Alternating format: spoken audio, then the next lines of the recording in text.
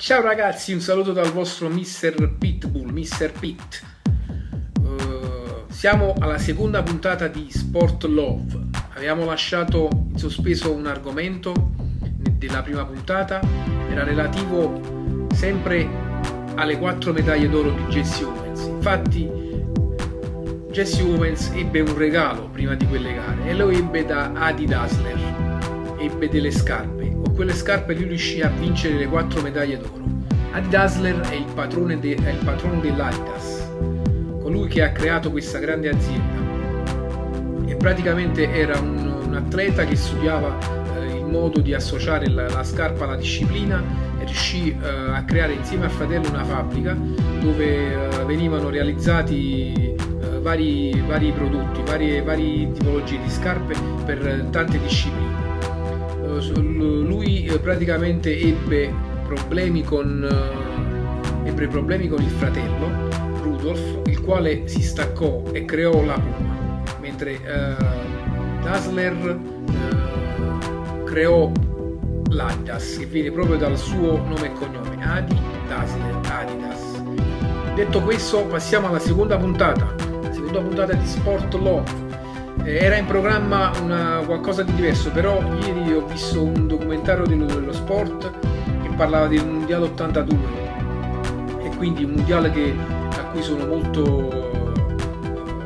sono molto affezionato, un, un mondiale che eh, mi ha fatto appassionare sempre più al calcio. Eh, quelle partite sono state delle partite eccezionali, partite indimenticabili l'Italia dalla, dalla partita con l'Argentina fino alla finale con la Germania è stata fantastica.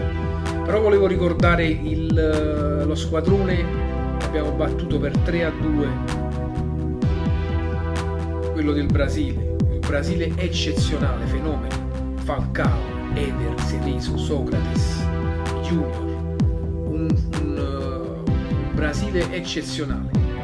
Forse un Brasile che aveva un solo neo, il portiere Valdir Peres e poi anche eh, la convinzione di eh, voler eh, di aver già vinto, la convinzione di aver già vinto quella, quel mondiale.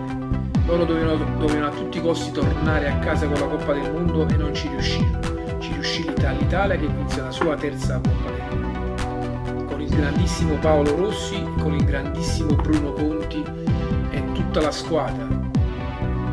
Tra i, portiere Dino Zoff, Tardelli, Scirea, Collovati, Bergomi, Graziani, ma che campioni! E poi il grandissimo allenatore Bearzotto che ci portò con la sua pipa a vincere il mondiale. È stata, è stata una, una, una, spedizione molto criticata, infatti loro, no, loro andarono in uh, silenzio stampa, in silenzio stampa e ci furono molti problemi giornalisti e con la stampa, però riuscirono in quella, in quella finale a battere la Germania, la, la, Germania che aveva fatto una semifinale eh, con, la, con, la, Francia, una grandissima semifinale, anche quella una grandissima partita, in cui la Francia con il grandissimo Michel Platini non riusciva ad avere la meglio dei tedeschi.